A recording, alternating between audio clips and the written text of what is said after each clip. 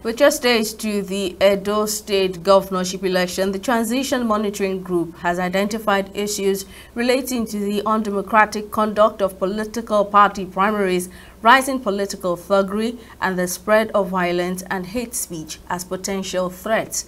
According to the chairman of TMG, Auwal Rafsanjani, these disturbing occurrences in the state could truncate the process or worse still, undermine the credibility, integrity, and safety of the electoral process. Speaking at a press conference in Abuja, Rafsanjani highlighted multiple concerns that could multiple concerns that could uh, stop the conduct of the elections. If you want to be seen as a responsible institution, you must stay from the control and manipulation of politically exposed persons, whether in government or outside government. The idea of deploying federal might to harass, intimidate in a state it is condemnable and should not be seen uh, happening.